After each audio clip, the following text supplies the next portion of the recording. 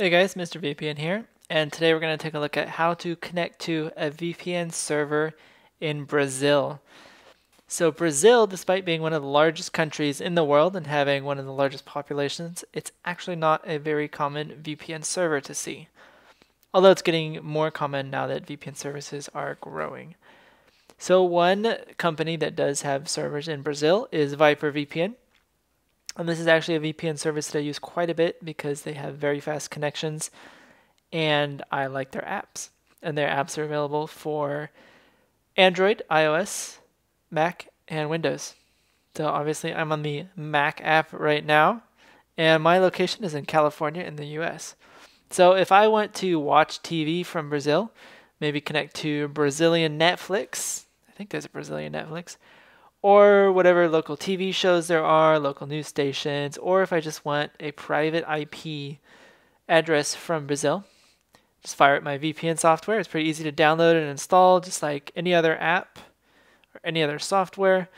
We're going to find Brazil from the drop down menu and double click to connect.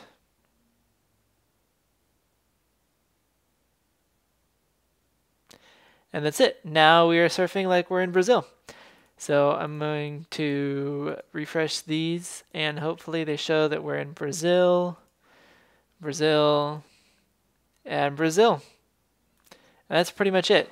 Now, if you're going for streaming TV and you're just going to be like watching on your Mac or watching, maybe you want to uh, watch it on your Mac and then AirPlay. You want to do AirPlay to through your Apple TV to your TV VyprVPN Basic is great because it's going to be cheaper. You're going to just need the one connection and you're not really going to be worried about the encryption protocols. Now, if you are concerned about privacy and security, then you'll need to get at least the VyprVPN Pro. I think it's going to be probably the best choice for most people who have uh, privacy and security concerns and for people who want to connect more than one device at the same time. So if you have two different people in two different rooms, like you're in a dorm or if you have, uh, let's say you want to keep your phone encrypted and you want to watch on TV, or you want to have both devices encrypted all the time for whatever reason, then the VyprVPN Pro is going to be your best bet. Both of them are good, and both of them also come with a three day free trial.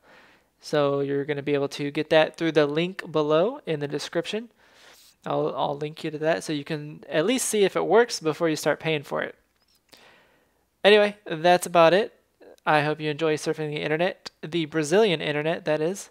So if you have any questions or comments, leave them below in the comment section of the video. Thanks for watching, and I will see you in the next recording.